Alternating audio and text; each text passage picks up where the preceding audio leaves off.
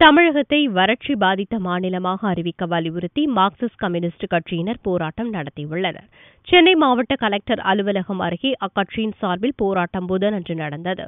அப்பொழுது செய்தியாளர்களிடம் பேசிய ஜி. ராமகிருஷ்ணன் தற்போது தமிழகத்திற்கு வந்துள்ள மத்திய குழுவால் எந்த நன்மையும் ஏற்பட போவதில்லை என்றார். வறட்சியால் குறுவை சாகுபடி பொய்த்து போனதால் தமிழகத்தை வறட்சி பாதித்த மாநிலமாக அறிவிக்க வேண்டும் என்றும் ராமகிருஷ்ணன் வலியுறுத்தியுள்ளார். மாநிலம் முழுவதும் வறட்சியால் பாதிக்கப்பட்டிருக்கின்ற போது இன்று எல்லா மாவட்டங்களிலும் மாவட்ட தலைநகரங்களில் தமிழ்நாடு விவசாய சங்கத்தின் சார்பாக விவசாய தொழிலாளர் சங்கத்தின் சார்பாக மாநிலத்தை வறட்சியால் பாதிக்கப்பட்ட மாநிலமாக அறிவிக்க வலியுறுத்தி மாவட்ட ஆட்சியர் அலுவலகங்கள் முன்னதாக காத்திருக்கும் போராட்டம் என்ற தொடர்மறியல் போராட்டம் என்பது இன்று காலை துவங்கியிருக்கிறது.